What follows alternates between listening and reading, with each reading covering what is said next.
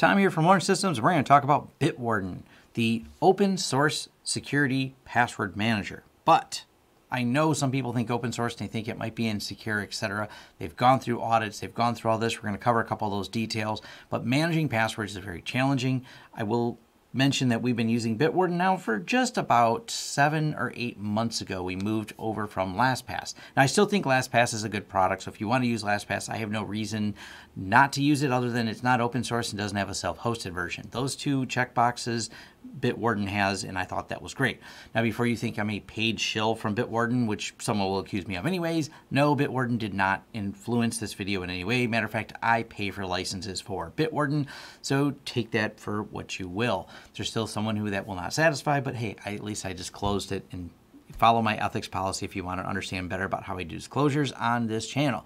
This channel is about products we use and why we use them and my essentially biased opinion because I like the product. So I will say I'm biased towards liking Bitwarden, but I'm not biased because money was thrown at me for uh, my bias. So I want to talk about why you might want to consider using Bitwarden, some of the ins and outs of password managers, and reducing your threat level because that's what all this is about when it comes to security. You can never get your threat to zero, but you can do things to help mitigate and reduce your threat surface. Bitwarden is one of those tools in my toolbox. Before we dive into that, let's first if you'd like to learn more about me or my company, head over to lawrencesystems.com. If you'd like to hire a project, there's a hires button right at the top. If you'd like to help keep this channel sponsor free, and thank you to everyone who already has, there is a join button here for YouTube and a Patreon page. Your support is greatly appreciated. If you're looking for deals or discounts on products and services we offer on this channel, check out the affiliate links down below. They're in the description of all of our videos, including a link to our shirt store. We have a wide variety of shirts that we sell, and new designs come out, well, randomly, so check back frequently. And finally, our forums. Forums.lawrencesystems.com is where you can have a more in depth discussion about this video and other tech topics you've seen on this channel. Now, back to our content. And we'll start right here at the Bitwarden page. Open source password management for you and your business. And just because it's open source doesn't mean it's secure. That is something where people conflate that and they think because the source code's available that, oh, that means it's been audited and people went through it and there's no holes in it. No, that costs money. actually have proper security auditing, they have gone through security auditing. They paid not once, but twice to have companies audit their code. So they have gone through security auditing. So one, the source code is available. Two, it has been vetted. Um, it's not just a pile of code that's just available to the internet, but people haven't really taken the time to audit and poke at it. Yes, it's been audit and poke at it. And if you're worrying about the infrastructure by which they host it on, they have completed a SOC Type 2 and SOC 3 audit, and they've got the details on here. Let's talk about Bitwarden though as the company. Bitwarden started as an open source password manager. A lot of people asked me about using it, and I said not until it was audited. It went through some audits, and then I got around to moving from LastPass over to Bitwarden earlier this year in January of 2020. I think is when I first started using it, and somewhere not long after is when we actually switched to it. Now, here we are in October of 2020, and I'm really happy with it. We've watched it go through a few updates, we've seen bugs get fixed, and we've seen features get added. And we're self hosting it. This is why I mentioned the updates, because uh, the updates come via Docker images. We do a Docker pull and get the updates, and so far it's migrated all the data. They did a nice job the way they containerized it with Docker, keeping all the different services separate and the data separate, so it's easy to understand if you're familiar with how Docker architecture works, of keeping your data separate from the application layers, and that way the components can be all updated, and that's all worked really well. Now, using it as an IT business, I know someone's going to say, what about KeePass or any of these other ones? And I never found them quite as scalable because one of the challenges is we have hundreds of clients. That challenge means having those clients having to have unique passwords, not a stupid password scheme that you thought no one would guess. That's one of those roll my eyes. We've done IT takeovers where we see people come up with a scheme by trying to add some common digits to a common password, like relating it to their address or something like that, of the physical address of the client don't do that. You need unique passwords. If you have some type of admin accounts you need to create on clients, and frequently as an IT provider, this is something you need to do. Then you have the next problem. You have a team of people, and they need to be able to get to these passwords or they can't service the client. So you have to have a way to manage all of this. Bitwarden gives you that granular password options It allows you to share it with your teams. And for those wondering, yes, there's directory synchronization with Active Directory, etc. It's not a feature we're using, but it is something they do offer on Bitwarden so you can synchronize things to it. Now, one of the problems I have with some of the solutions that are out there that exist now, and no, I don't have an exhaustive list of all of them, or I don't know what's going to be coming out in the future from the time I make this video to the time you may be watching it.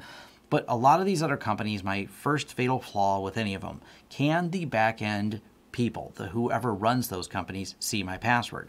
This is something that LastPass and Bitwarden solve by simply not having your password. They handle all the encryption in the browser or in the application.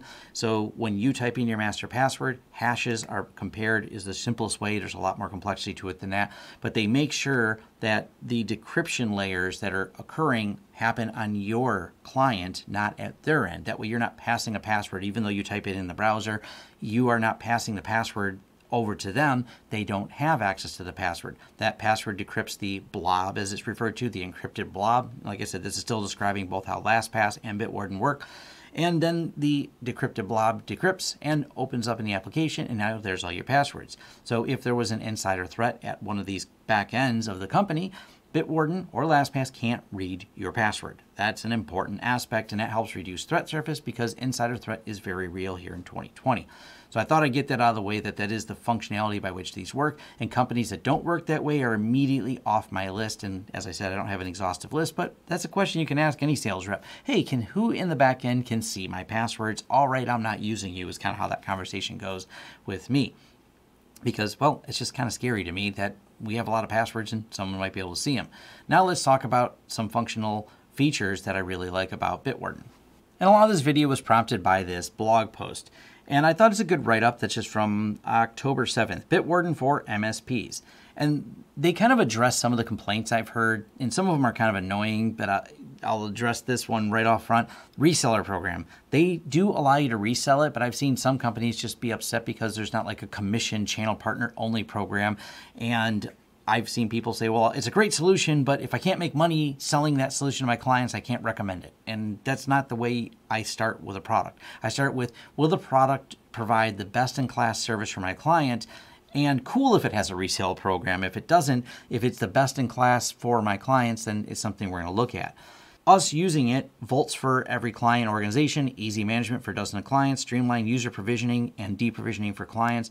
This is some of the things I talked about, like the directory connector, uh, which they have right here, syncing users with different things like Active Directory, LDAP, Azure, G Suite, One Login, etc. So there's a lot of different options on there organizational vault, health reports, cloud or on-premise or self-hosting options.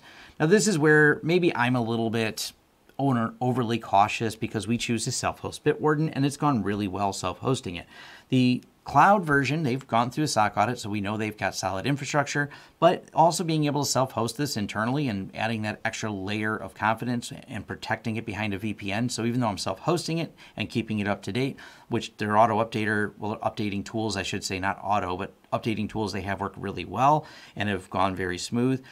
Also being behind a VPN means if there was some type of flaw that buys you essentially kind of extra time. Someone has to be within my network to exploit said flaw in between the time a flaw may have been discovered or an update in an update been applied. Having this behind a VPN just well, it's one more security layer that I feel comfortable with and it's worked out really really well using this all this year so far for about what about six or seven months now i think we've been using bitwarden cross-platform compatibility and this is something that's really important because obviously for those of you that follow this channel, you know I'm a Linux user and Linux, no problem. Windows, no problem. Uh, if you want to use the phone app, which we don't use because that's where we keep all of our 2FA stuff, so I do keep it off of the phone. That's just me being a little bit, you know, tinfoil hat maybe, but hey, it's got compatibility for all those options. And as I mentioned, Bitwarden for value added resellers. In addition, partners can resell Bitwarden product as is and let Bitwarden handle customer technical support. So for those of you that are looking for an option to sell Bitwarden, it does have that option. I will mention too, their pricing is right up front and on here. So if you want to go with the self-hosted, that would be the enterprise version right here. You go through, set up, create the organizational steps and uh, then you have the self-hosted option right here, or you can just play with the free version, set up a demo, etc. And I have no offer codes or affiliate codes. Like I said, I'm not reselling Bitwarden uh, to you, as in people watching here on YouTube, but I am mentioning it as something that they do have the option and offerings so you can resell it. So this is my endorsement of Bitwarden. I do like it as a product. It does help reduce threat surface by not having people on the back end that can see it. It does let me keep my tinfoil hat nice and tight uh, when it comes to security, the fact that I can self-host it. It does make it easy for me to manage me and my staff and have granular levels of permission so I can practice principles of least privilege properly and understand what people have access to and share and sync all those passwords. And the directory sync is something we're looking at too as we look into different organizations and being able to synchronize it. I think it's an overall great solution. Now, we moved from LastPass, and for those of you that may be considering moving off another password manager, they do have import and export options. So if you import into Bitwarden from one of those other options, that was actually pretty pain-free. And I like the fact that they have an export option. So if you decide, I don't like this tool, I want to move away from it, they don't lock your data up in some weird format. You can get the data back out and then move it into the next platform that you need to move it into, whatever makes you happy. These are things that I think are really important for when you're choosing a password manager and a password management system. And this helps bring up that level of security because it easily lets you have very unique, very high entropy passwords for all of your clients, which I'm hoping all of you do. I'll leave a link to as well to my Bitwarden review and something that was mentioned when I did a video about MSPs getting breached. I've dealt with, I did a video with Huntress Labs. We talked about this, and one of the things that really accelerates these breaches is the fact that common passwords are frequently used at managed service providers because they don't want to use uh, some of these different type of password managers or they do use them and just keep using common passwords across a lot of clients. So in a breach type situation, having the same password everywhere makes it easier for that type of lateral movement. This is why it's so important. Have a good password manager. I still am using Bitwarden and if that ever changes, I'll do a video on it or, you know, tag me on Twitter if you're curious if you're watching this sometime in the future. Hey, Tom, are you still using Bitwarden? But as of October of 2020, I, I am completely impressed by the product. The updates have gone well. The whole system I'm excited about and really happy with, and just wanted to share my thoughts on it as a, a good solution for password management. All right, thanks. And thank you for making it to the end of the video. If you like this video, please give it a thumbs up. If you'd like to see more content from the channel, hit the subscribe button and hit the bell icon if you like YouTube to notify you when new videos come out. If you'd like to hire us, head over to lawrencesystems.com, fill out our contact page, and let us know what we can help you with and what projects you'd like us to work together on. If you want to carry on the discussion, head over to forums.lawrencesystems.com where we can carry on the discussion about this video, other videos, or other tech topics in general. Even suggestions for new videos, they're accepted right there on our forums, which are free. Also, if you'd like to help the channel out in other ways, head over to our affiliate page. We have a lot of great tech offers for you. And once again, thanks for watching and see you next time.